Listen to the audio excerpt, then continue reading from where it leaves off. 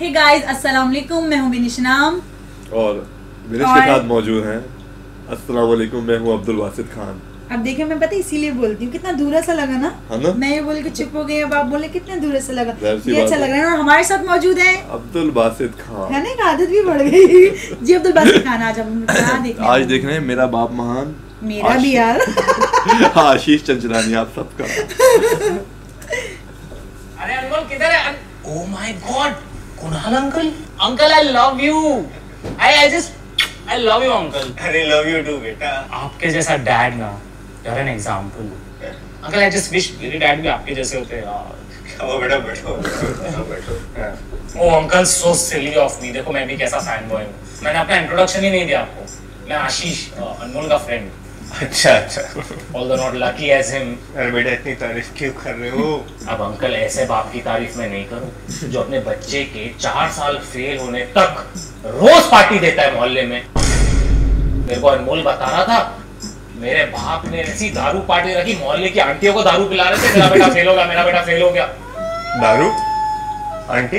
Uncle aunty वापस आ गई। हाँ आधा घंटा पहले आ गई। आधे घंटे पहले आंटी वापस आ गई? हाँ बाजी अंडा दूध सब लेके आ गई। वाह अंकल मतलब डिवोर्स खत्म। डिवोर्स हाँ। क्या बात कर रहे बेटा? आपका बेटा बेचारा पिछले छह महीने से कॉलेज से रोज हाफ़ का पौना पौना डे लेके जाता था। और यही बोलता था कि मैं जा रहा हूँ मेरे माँ बाप का लफड़ा सॉल्व करने मैं जा रहा हूँ मेरे माँ बाप का लफड़ा सॉल्व करने। फाइनली आज जाके लफड़ा सॉल्व हुआ। और बताओ सब्ज़ी भी लेके आ गई आंटी? चलो अंकल आंटी के वापस आने की खुशी में एक एक छोटा मारते हैं। लाइटर निकालो चलो। लाइटर कौन सा लाइटर भाई? क्या बात कर रहे हो अंकल मुझसे झूठ क्यों बोल रहे हो? आप शर्माओ मत। मेरे को अनमोल बताता है आप और वो दिन रात बैठ के सुट्टा पीते रहते हो। मुझे तो बोलता है मेरा बाप इतना सुट्टा मारता है इतना सुट्टा मारता है कबीर सिंह शर्मा जाए अच्छा। अरे अंकल वो पाटिल साहब का नंबर दो ना मेरे कौन पाटिल? फोटोग्राफर अरे नहीं अंकल पाटिल इंस्पेक्टर इंस्पेक्टर वही इंस्पेक्टर जिसको आपने फ़ोन करके अनमोल के ड्रग केस में अनमोल को बाहर करवाया। अंकल अनमोल जेल गया था ना ड्रग्स मारने के लिए? जेल गया था? बट अंकल आप कमाल के बाप। मतलब एक मिनट में पाटिल साहब को फ़ोन किया बोला मेरे बेटे को बाहर निकाल। और तो और इतने कूल मतलब इतने कूल जेल से बाहर आते ही बच्चे को घर पे लेकर आप दोनों ने साथ में ड्रग्स किए। But uncle cool and all is fine drugs मत करो यार। बंद बेटा। अच्छा बात नहीं है ये। और सुना? अनमोल और मेरे मशहूर किस्से। भगवान करे आप सबके बाप बन जाओ। क्या?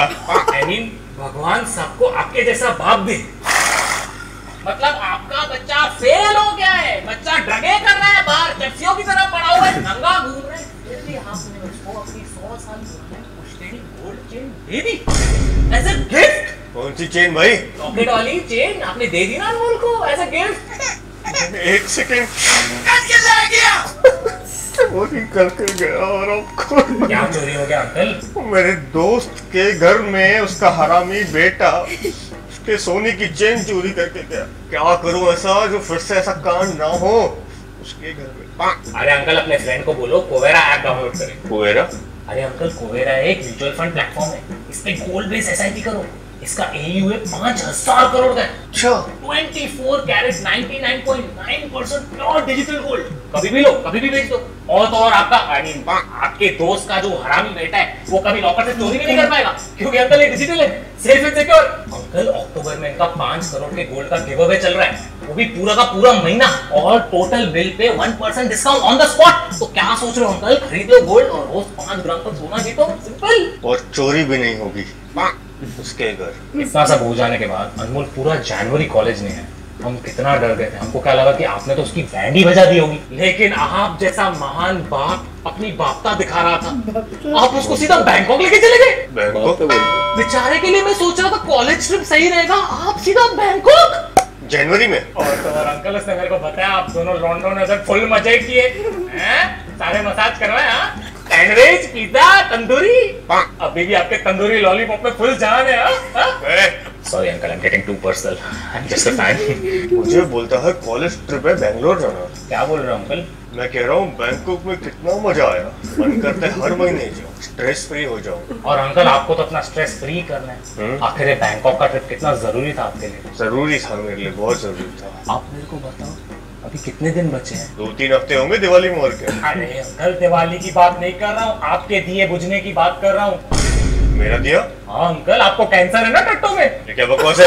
अनमोल तो यही बता रहा था कॉलेज में। मुझे ऐसा कुछ नहीं है। अरे अंकल आप शर्मा क्यों रहो वी आर टुगेदर कॉलेज में आपके नाम पे और आपके कैंसर के नाम पे उसने कितने अच्छे से पैसे जमा करके रखे अंकल? पैसे जमा किए? हाँ हमारे कॉलेज का जो स्पोर्ट्स कोटा है और काफ़ी सारे बच्चे जिन्होंने फ़ीस नहीं भरे अपना एजुकेशन होल्ड करके बैठे क्यों? ताकि आप बाहर निकलो अंकल मैं? हाँ और उसने बोला भी मुझे कि एक बार पापा का कैंसर निकल जाए उसके बाद मैं सारे पैसे सबको लौटा दूँगा। कौन से पैसे हैं? आपके कैंसर के? सत्यानाश उस लड़के का। किसका? कैंसर का?